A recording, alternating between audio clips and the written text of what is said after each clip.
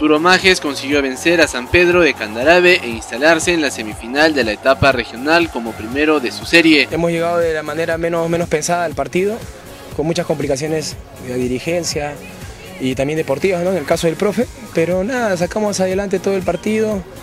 Obviamente que nos ha afectado la, la ausencia de, del profe Macha, pero nada, sumamos de tres y nos da la clasificación ¿no? a semifinales. El entrenador de Futuro Majes, Walter Ceballos, no estuvo presente en el compromiso. Futuro Majes sacó adelante el partido con serias complicaciones en la interna de su plantel. No hemos entrenado tres días por el paro que hicimos, por el, el aspecto del pago.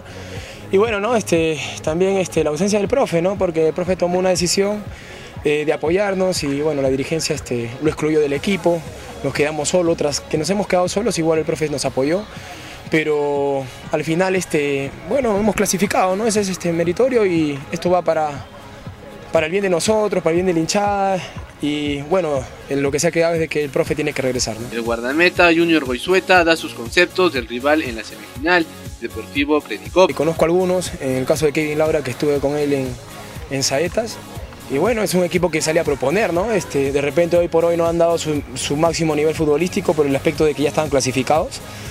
Pero nada, este, tú sabes que al final dentro de la cancha es cuando se tiene que ver este, a, lo, a los equipos, ¿no? Entonces esperemos de que el fin de semana que juguemos este, sacamos un resultado positivo, ¿no?